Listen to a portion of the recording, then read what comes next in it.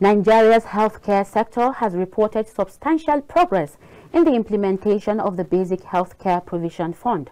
The Coordinating Minister of Health and Social Welfare, Muhammad Ali Pate, speaking at the 8th Ministerial Oversight Committee meeting, Minister Pate highlighted the advancements made under the broader sector-wide program unveiled by the President in December 2023, with the Basic Healthcare Provision Fund being a crucial component. The minister noted that the digital health initiative of the ministry has been instrumental in tracking financial flows to primary health care centers and empowering frontline health workers.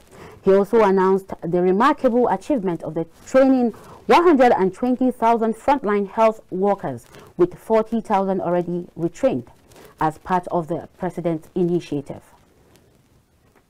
Um, basic healthcare provision fund is one element within that and we're seeing the execution proceeding and the governance of it also improving collectively between the federal government, states, local government, development partners, civil society, and the private sector coming together to discuss issues, discuss funding flows, discuss uh, issues of accountability around the resources to ensure they go to the front lines.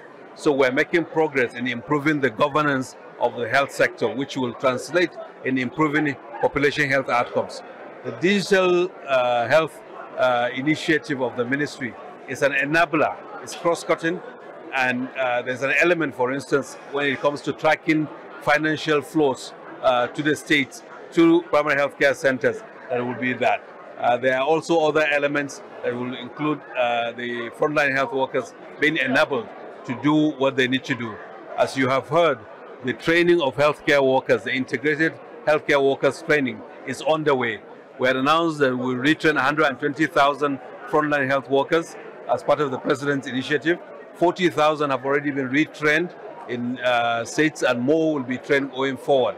Uh, so uh, this is uh, really very good news and I believe that uh, the President's leadership, even on the continent, as the African Union champion on human resources for health and community health delivery is being backed by action that is being taken place uh, by the federal government here in Nigeria. So I think we're, um, these are difficult um, uh, things that we're grappling with in a very complex sector, but we're making progress to improve the population health outcomes for all Nigerians. Addressing the issue of health care access and affordability, the minister highlighted the Vulnerable Groups Fund, which has added 2.4 million additional enrollers enrollees, I beg your pardon, over the past year, enabling them to access essential healthcare services? Uh, I think the basic, if you look at the Vulnerable Groups Fund, 2.4 million uh, additional enrollees have been included in the Vulnerable Groups Fund over the last one year, which means they are able to afford healthcare and through that we also know that there are resources to support the comprehensive emergency obstetric care to ensure affordability, particularly for the poor and vulnerable populations.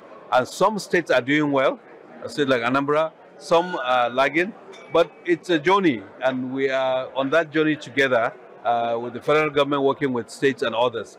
So I believe that over time, our objective to crush maternal mortality, improve child health outcomes in Nigeria will come uh, to reality.